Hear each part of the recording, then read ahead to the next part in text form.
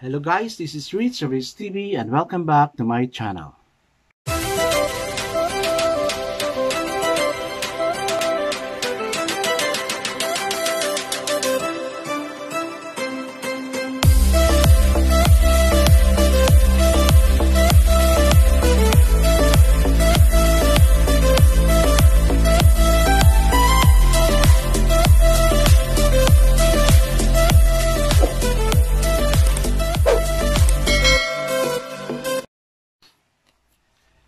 Guys, it's uh, January 22 and we're again back for our devotional. I praise God for again that good night rest He has given us and I thank God for this another day na binigay niya sa atin. Sana we always have to praise God for what He has given us especially na nagising pa tayo, no? Kaya, kasi yung iba dyan hindi na nagigising, no?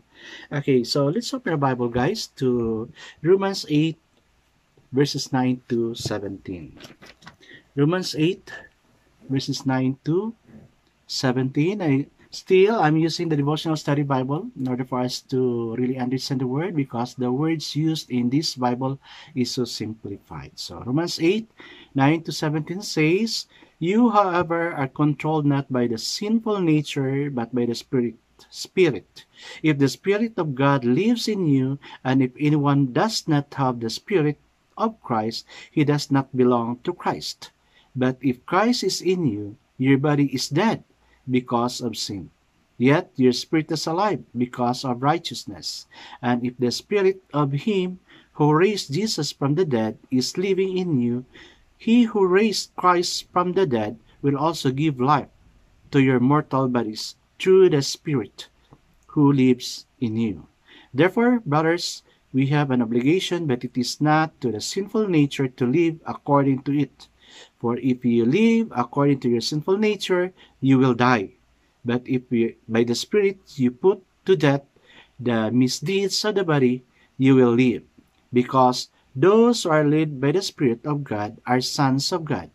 For you did not receive a spirit that makes you a slave again to fear, but you received the spirit of sonship, and by him we cry, Abba, Father.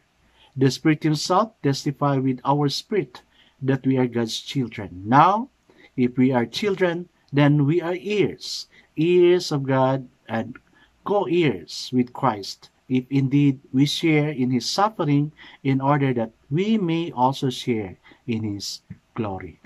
Amen. No? Ang ganda ng ano, ang ganda ng verse, no? So guys, let's pray muna. Father God, it's true that uh, we commit sin, oh God, because we're not that perfect. But if the Holy Spirit would really control us fully, oh God, then we cannot do sin. And we have that desire to, re- to really be controlled by you, then we can prevent ourselves from sinning. Lord, we accept, oh God, that we are all sinners. That's why we need your grace to be upon us. We need your forgiveness to be upon us, oh God. And I pray, Father God, for your leading, even as we have our devotional today. We pray for your love and uh, your uh, direction for us on what to do. We commit these things to you, O God. This time we pray. Amen. Okay, guys, so our main text for today is found in Romans 8.14 and it says, For those who are led by the Spirit of God are the children of God. Amen. No? Okay? So still, I'm using the Our Daily Bread devotional book. And the title of our devotion for today is Always a Child of God. Okay. During a church service I attended with my parents, according to the usual practice, we held hands while saying in the Lord's Prayer, singing the Lord's Prayer together. As I stood with one hand clasped to my mother and the other to my father, I was struck by the thought that I will only be their daughter. Although I am firmly in my middle age, I can still be called the child of Leo and Phyllis. I reflected that not only am I their daughter, but I will also always be a child of God. Amen. No, we are always be a child of God. The Apostle Paul wanted the people in the church of Rome to understand that their identity was based being adopted members of God's family because they had been born to of the Spirit, no longer did. They need to be enslaved to things that didn't really matter. Rather, through the gift of the Spirit, they were ears of God and co-heirs with Christ. To those who follow Christ, what difference does this make? Quite simply, everything. Our identity as children of God provides our foundation and shapes how we see ourselves and the world. For instance, knowing that we are part of God's family help us to step out of our comfort zone as we follow Him. We can also be free from seeking the approval of others. Today, why not ponder what it means to be God's child? Uh, what it means to be God's child. For me, it is, is a privilege na uh, He consider us to be children of God. No? Uh, Klaro-klaro naman yung sinabi sa the Bible na not all who call me, call my name, will become my children. No? Okay, so how would they become a child of Christ? No? Okay.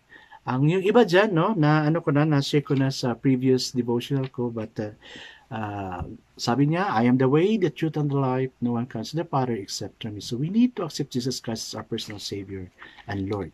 No? Oh. May tanong nga siya kanina dito, nung, yung ano, so, what difference does this make? No, when you follow Jesus Christ, the answer is everything, everything. No, okay. So although we are sinner, no, gaya ng nangyari sa ano na as they sing the uh, ano yon yung the Lord's Prayer, they both held hands, uh, 'di ba? May mga churches na as they sang that song, no, uh, hawak kamay sila, no. Na-realize ni Elise, no, na Elise ba yun, or Phyllis or that daughter na uh, he is not, she's not just a daughter of her parents, but she's also a daughter of Christ. No? Ganyan man talaga tayo. If we have the relationship with God, then He can be our Father. Then He can, we can consider ourselves as children of God. Many claim that they are children of God, but yet their relationship to God is nothing.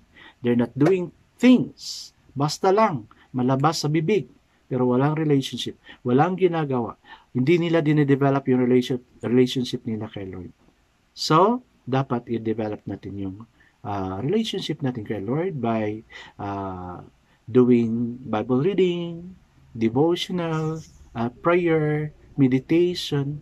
Kaya itong ginagawa natin guys, devotion is really a big factor for us to go sa Kanya. No?